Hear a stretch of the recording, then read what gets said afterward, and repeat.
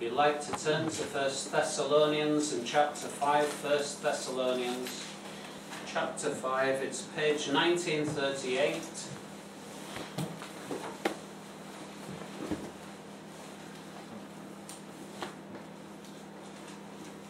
I'm going to read from the first verse just to get the context. It says, Now as to the times and epochs, brethren, you've no need of anything to be written to you.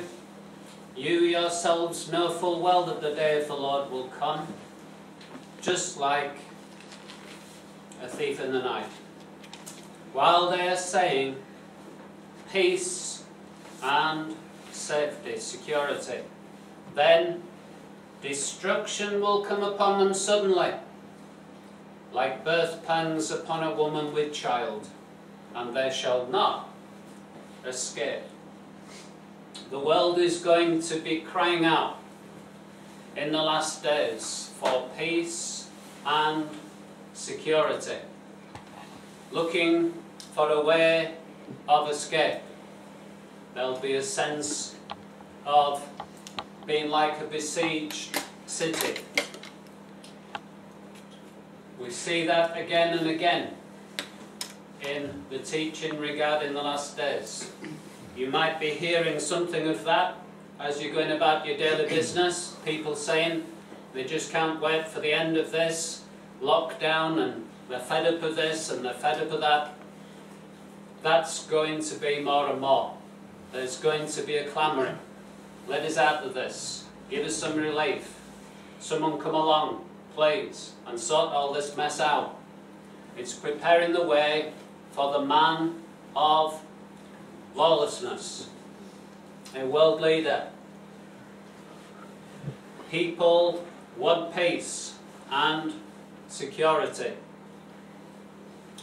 but sudden destruction will come.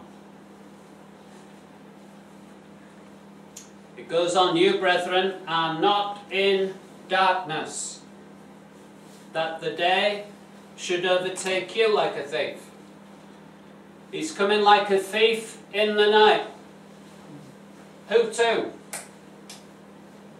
Those who are in darkness. But you are not in darkness.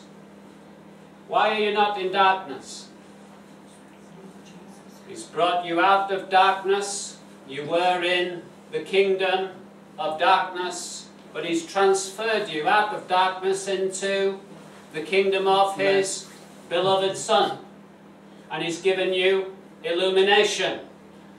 Thy word is a lamp unto our feet and a light to our path.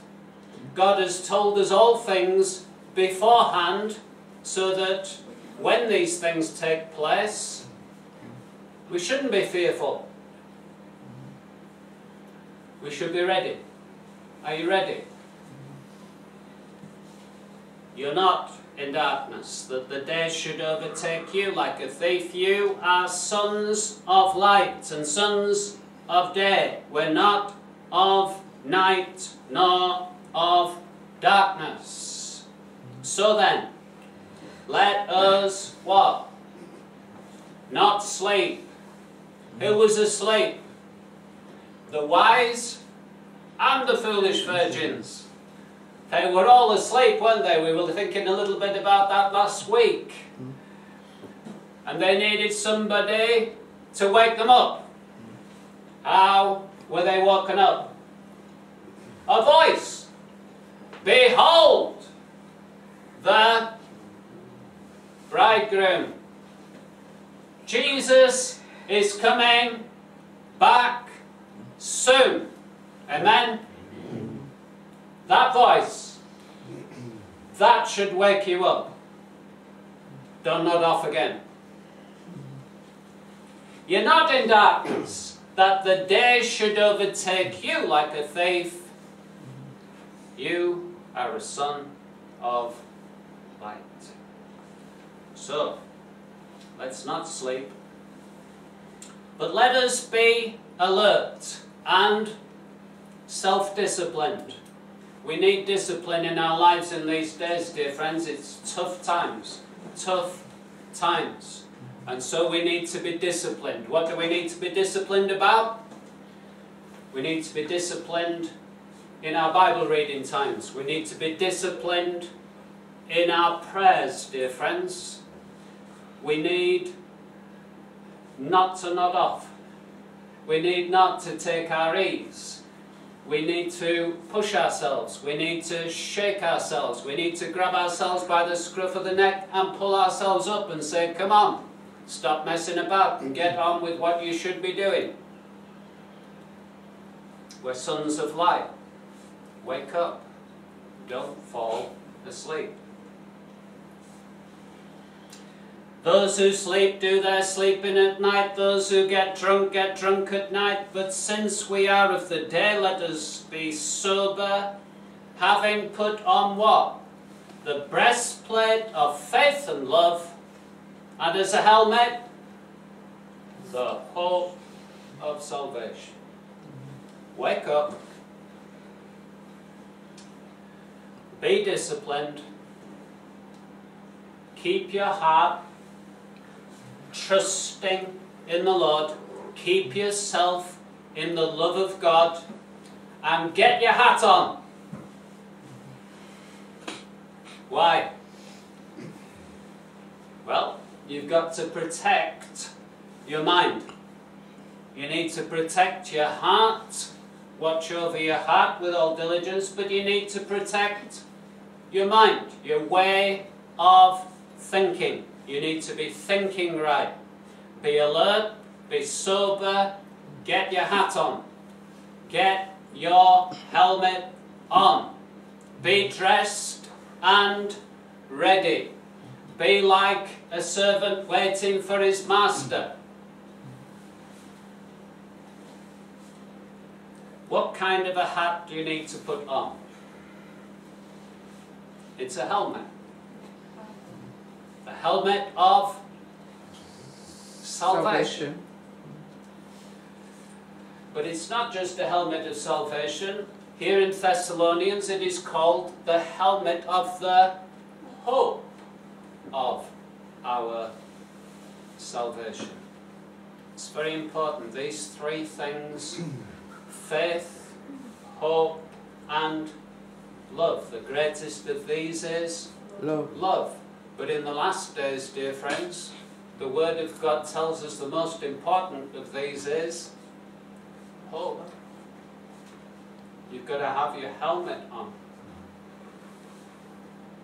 You need to have a hope. You need to be thinking right. Turn to Luke chapter 21. Luke's Gospel, chapter 21, Jesus speaking about the last days. Similar kind of sentiment. Luke 21 25. There'll be signs in sun and moon and stars, and upon the earth, what? Dismay among the nations what are the nations going to be in? Dismay and perplexity. At the roaring of the sea and the waves, men fainting from fear. Dismay, perplexity, fear. No wonder there'll be such a cry for peace and security. Fear of the expectation of the things which are coming upon the world. For the powers of the heavens will be shaken, then they'll see the Son of Man coming in a cloud with power and great glory when you see, when these things begin to take place, straighten up, lift up your heads, your redemption draws near. There'll be perplexity, there'll be dismay, there'll be fear, but when you see these things begin to take place, what are you supposed to do?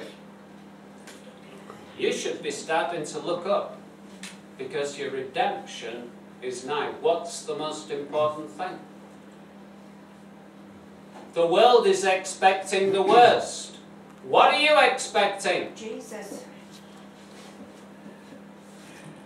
Could be back. We need to have a right expectation. It's all important, dear friends, for the last days. Turn to the book of Acts. I've said this many times, and I'm fully convinced of it.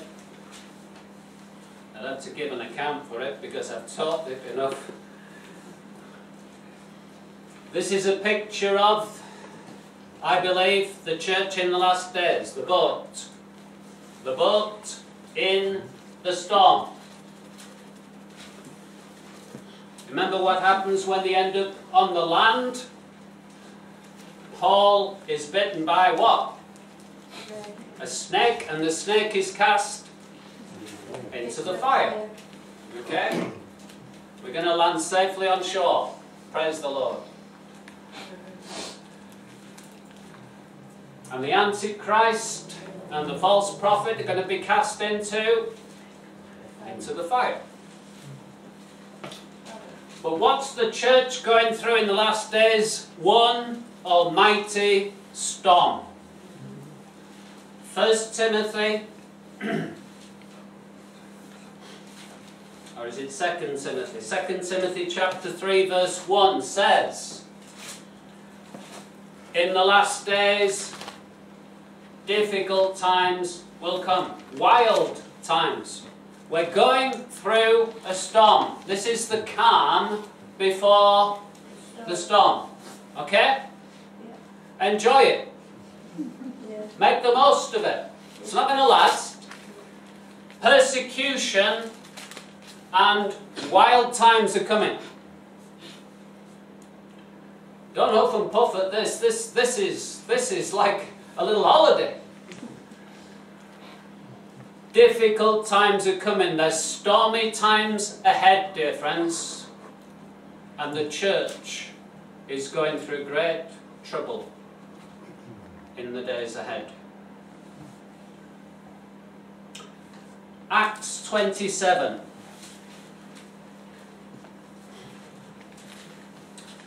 I'll read from verse 27. When the 14th night had come, as we were being driven about in the Adriatic Sea. About midnight, the sailors began to surmise that they were approaching some land. They took soundings, found it to be 20 fathoms, and a little farther on, they took another sounding, and it's 15. We're heading for land. Fearing that we might run aground somewhere on the rocks, what did they do? The boat is heading for rocks. We're in a storm. It's about to get smashed to pieces. What do you do? You let down the anchors. You let down the anchors. You're in a horrendous storm. There's nothing you can do about it. You can't drive out of it. You can't row out of it. You can't get out of it. What's the only thing you can do? Let down the anchors, dear friends. Let down the anchors and trust God. Do we have an anchor Yes. Yeah. That keeps the soul steadfast and sure The billows roll. while the billows roll? Is it fastened to a rock which cannot move? Grounded, firm, and deep in the Saviour's Love. love. We do. Hebrews chapter 6. Hebrews and chapter 6.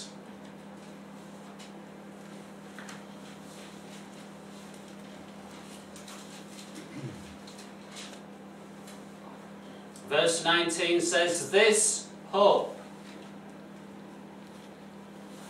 we have as an anchor of the soul. A hope both sure and steadfast, and one which enters within the veil, where Jesus has entered as a forerunner for us, having become a high priest forever according to the order of Melchizedek. We have an anchor, dear friends. What do you do when you're in a horrendous storm? The boat's going to be smashed to pieces, but you are going to land. You are going to be saved. You let down the anchors, dear friends. That's what you do. It's the only thing you can do is cast down the anchors. What do we need to do as we go through this horrendous storm ahead? Cast down your anchors. Make sure that your hope is alive, that it's strong. Make sure that you have on your helmet, which is the hope of salvation.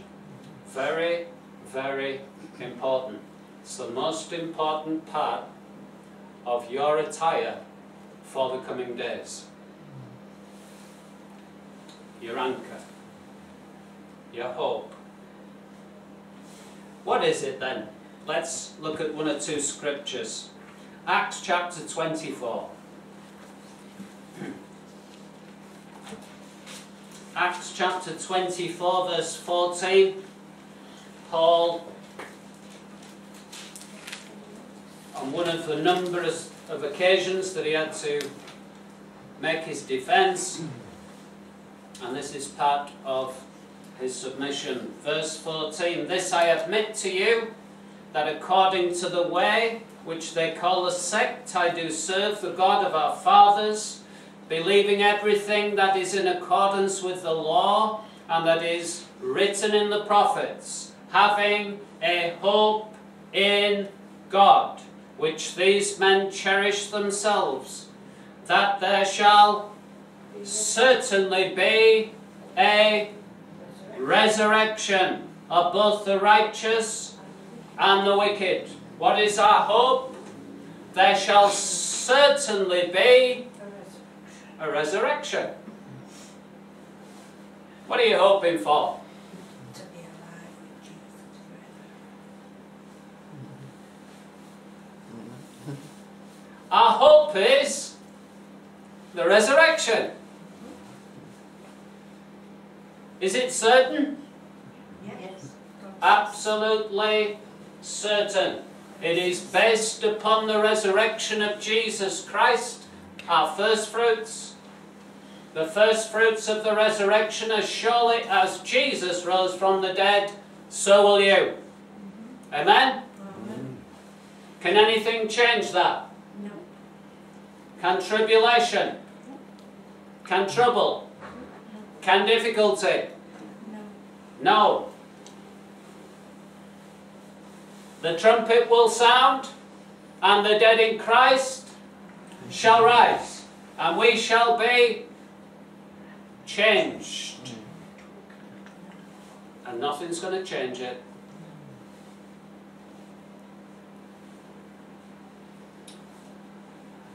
Titus chapter 2. The book of Titus and chapter 2.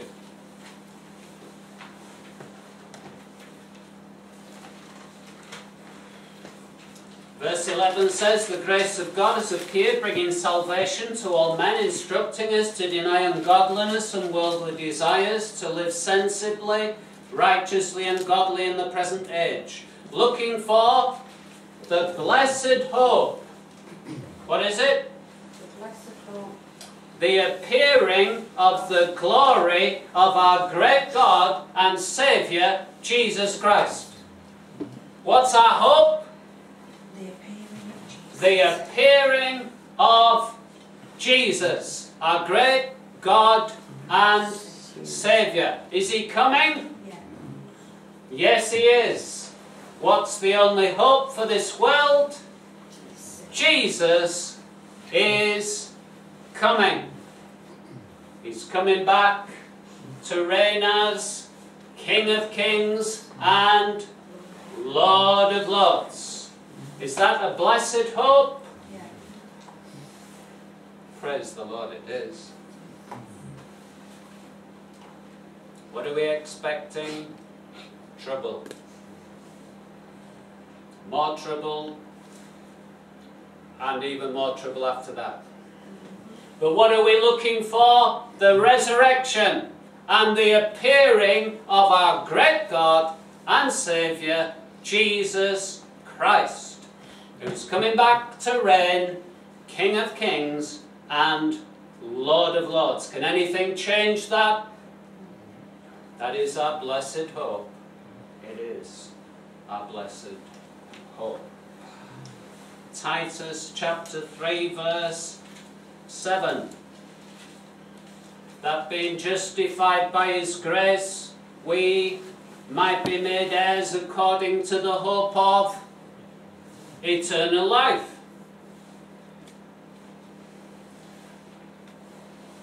When you're resurrected in your new body, what have you got? Eternal life, dear friends. No more pain, no more dandruff, no more arthritis. Eternal life. No more acne. Praise the Lord. what else? Colossians 1 and verse 27.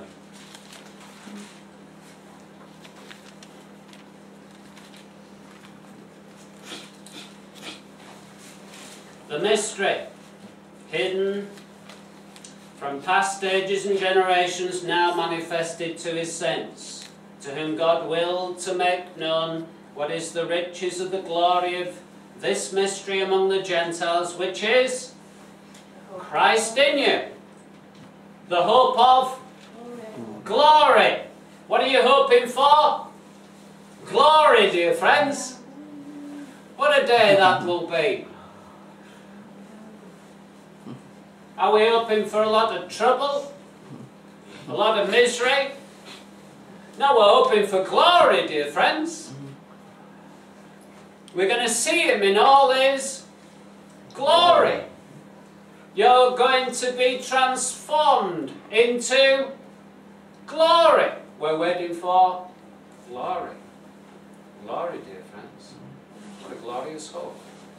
It's a glorious hope because it's a hope of glory, a hope of glory. First Timothy chapter 1 and verse 1. What is our hope? In one word,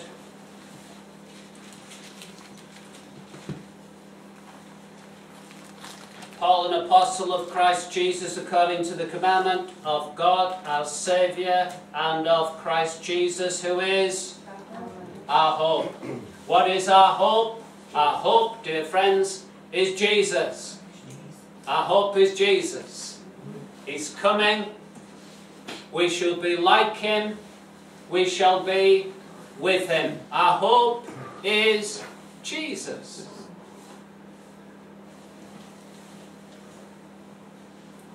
Is that your expectation?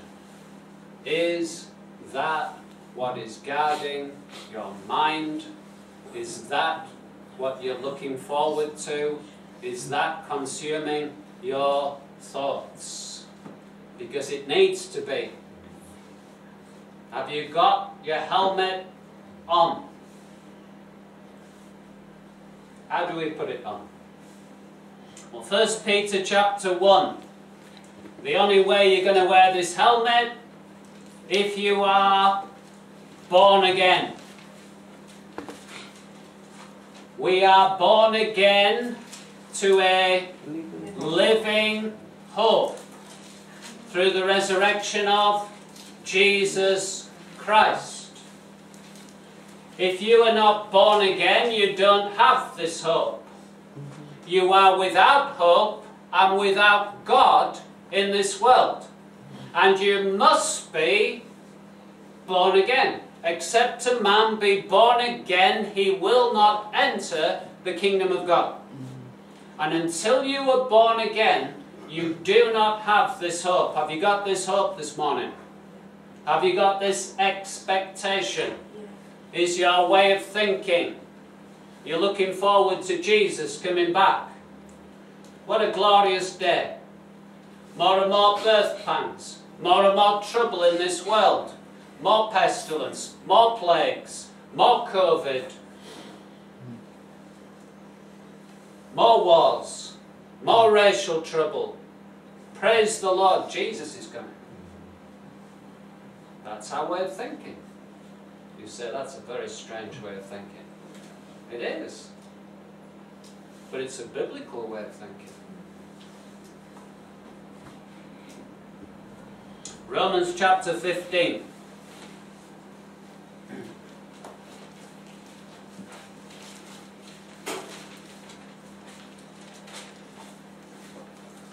Romans chapter 15.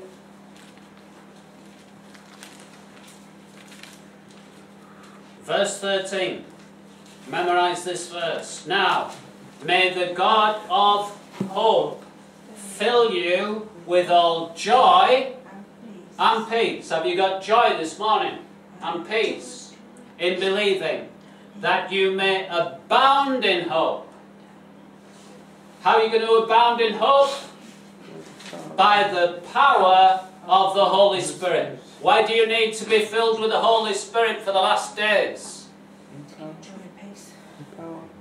Number one, you need all joy and peace in believing. Number two, you need to be abounding in hope. And how are you going to be abounding in hope? By the power of the Holy Spirit. The Holy Spirit, dear friends, will take your eyes off this world and fix them up in glory. You'll be waiting for Jesus. You'll be longing for Jesus when you're filled with the Holy Spirit.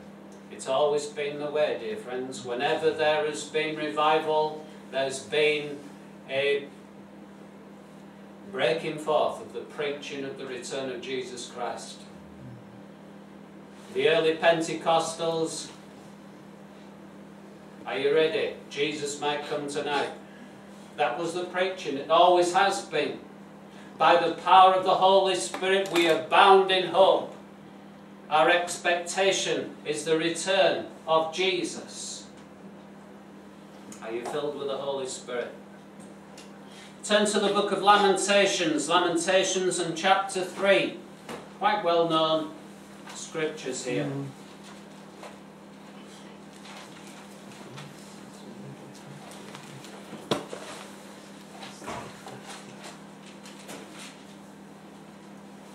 Lamentations 3. I read from verse 19. Remember my affliction, my wandering, the wormwood and bitterness, surely my soul remembers, and is bowed down within me. I'm miserable. Ever miserable? Now there's a scripture here especially for you. A scripture for miserable times wormwood, bitterness, grumbling and miserable and bitter. What's the answer?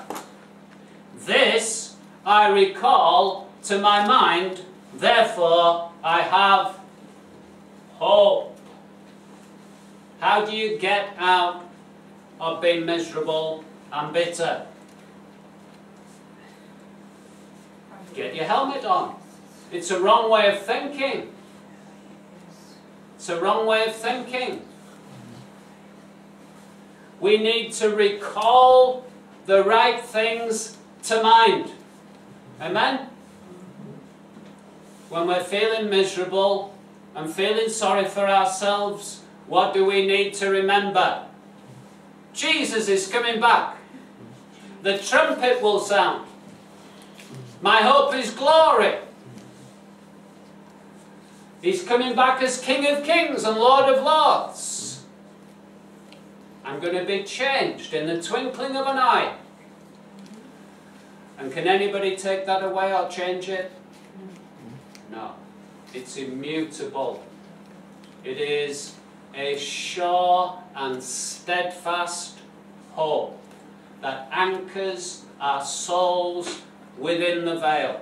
Amen? Get your helmet on. Why is it so important? Let's look at one or two things. Second Corinthians and chapter 3. What will a right hope produce within our lives? And what's a good measure as to whether we've got our helmets on? You can look at it either way. 2 Corinthians 3 and verse 12. Having therefore such a hope, what? We use great boldness in our speech. When you've got your helmet on firmly and right, what will you have? Boldness. Great boldness in speech. You won't be frightened of telling somebody about Jesus. You won't be frightened of declaring the gospel to anybody. When you've got a right view of eternity, of your hope, of what lies ahead, of what's important in life. Amen? Amen. It's logical, it's reasonable, it's rational. When we're not bold, it's because we're not thinking right. And we need to get our helmet on. The hope of eternal life, the hope of glory, the hope of resurrection, the hope of Jesus. Titus chapter 2. I think we might have read this. I Can't remember if I read all the verses. Titus chapter 2, verse 13, looking for the blessed hope and the appearing of the great of the glory of our great God and Saviour, Christ Jesus, who gave himself up for us, that we, he might redeem us from every lawless deed and purify for himself a people for his own possession, zealous for good deeds. Zealous for good deeds. When we've got a right hope of the appearing of the Lord Jesus Christ, there'll be a zeal in our life to serve Jesus. There'll be a zeal in our lives to serve Jesus. A right understanding of the grace of God, a right expectation of His appearing will give us a zeal to serve Him. What else? Romans chapter 5. Romans and chapter 5. What else does a right hope help us with?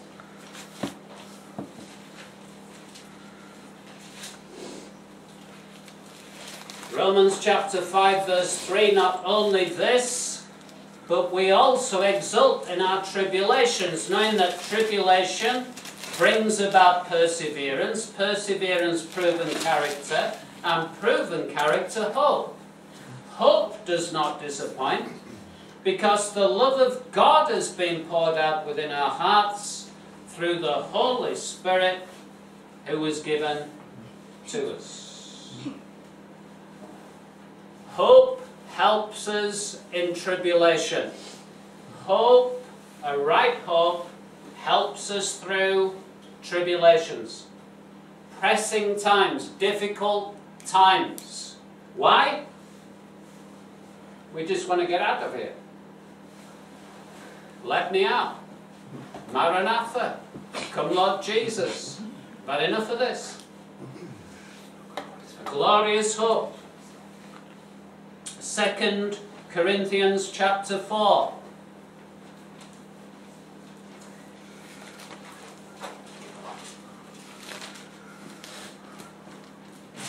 Verse 17. For this reason I sent to you Timothy. Sorry. In First Corinthians. Momentary light affliction is producing for us an eternal weight of glory far beyond all comparison. while we look not at the things which are seen, but at the things which are not seen. For the things which are seen are temporal, but the things which are not seen are eternal. Momentary, light affliction compared to an eternal weight of glory. A right hope will help us through great difficulty, troubled times ahead, and it will keep us looking up. What else will it do? 1 John chapter 3. 1 John and chapter 3. A right expectation and hope will get us to clean our lives up. Your life a bit dirty? Well, you need a right hope. You need to get your helmet on. 1 John chapter 3, verse 2, Beloved, now we are children of God. It has not appeared as yet what we shall be. We know that when he appears, we shall be like him, because we shall see him just as he is. Everyone who has this hope fixed on him purifies himself, just as he is pure. Jesus is coming back, and he's coming back soon. Is your life clean? Is your house sorted out? Are you ready to meet with him? He who has this hope purifies himself. I don't want to be caught doing this when he comes. Let's get this sorted out. Let's get this thing out of my life. I don't want to be raptured with a PS4 controller in my hand. I want to be raptured with the Word of God in my hand. Amen? Amen. Amen. What else? Romans chapter 12. Romans and chapter 12.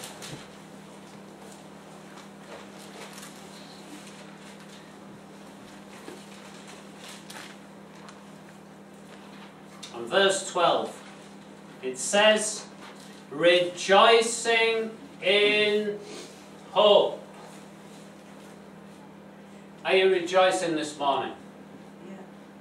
Rejoice in the Lord always. Again, I'll say it. Rejoice. Rejoice. Let your forbearing spirit be known to all men. The Lord is near. What's a forbearing spirit? We put up with miserable, rotten Christians. Just put up with them. So they're a bit obnoxious and they say stupid things. So what?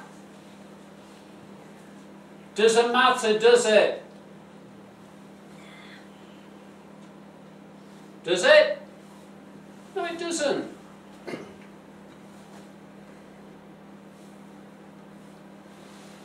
Why do people get so wound up about what people say? It's pathetic, eh, amen.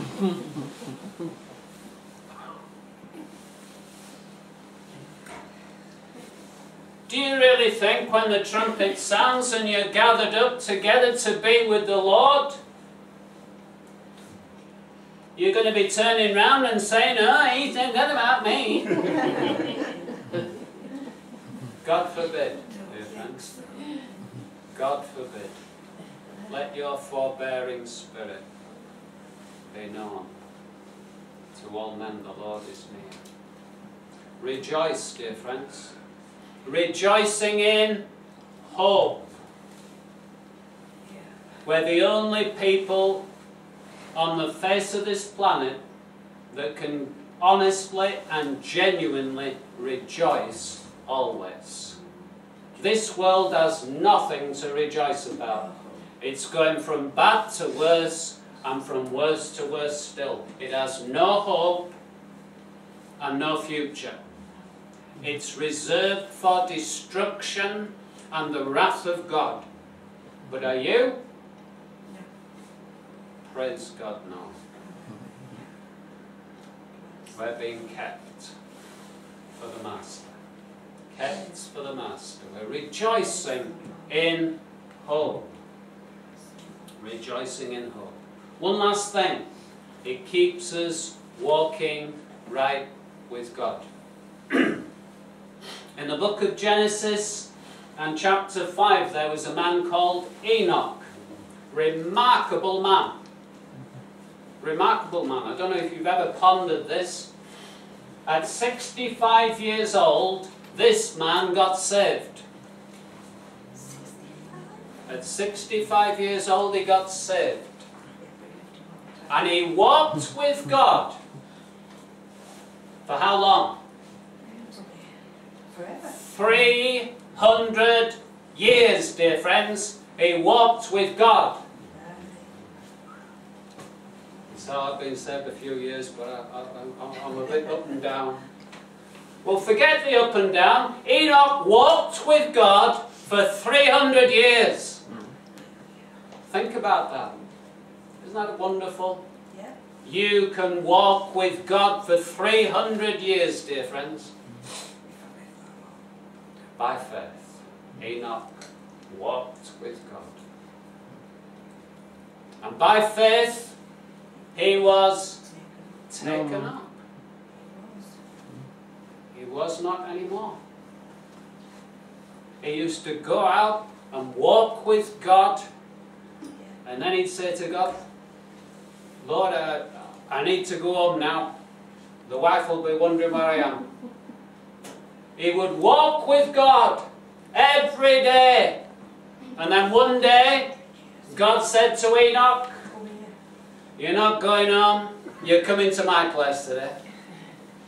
And off he went. He was taken up by faith, dear friends. He knew the day was coming. You know the day's coming when you're going to be taken up. You're going to be taken up to be with God. Praise the Lord. And he walked with God 300 years. He walked with God. With an expectation. One day when he was out walking with God, in the twinkling of an eye, he'd be gone. Straight into glory. Changed in the twinkling of an eye.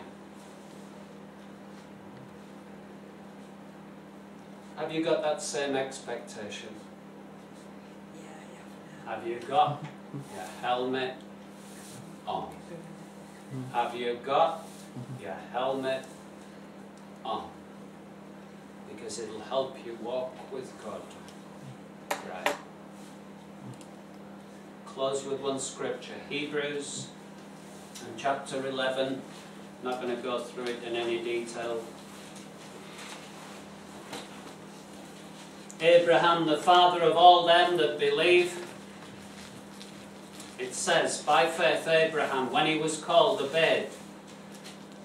By going out to a place which he was to receive for an inheritance, he went out not knowing where he was going. By faith he lived as an alien in the land of promise, as in a foreign land, dwelling in tents with Isaac and Jacob, fellow heirs of the same promise. For, because, how did he do it?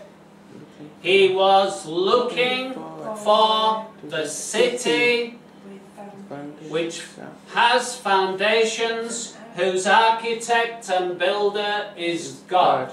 What are you looking for? What are you waiting for? What is your hope and expectation? A city whose architect and builder is God. And if you've got that same expectation that Abraham had, what can you do?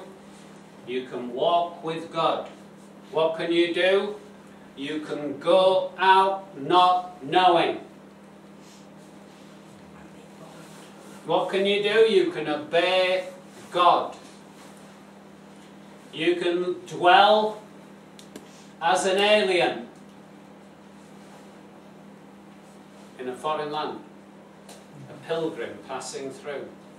You're a citizen of heaven. This is not your home. And you can dwell in tents with awkward believers, obnoxious Christians, fellow heirs.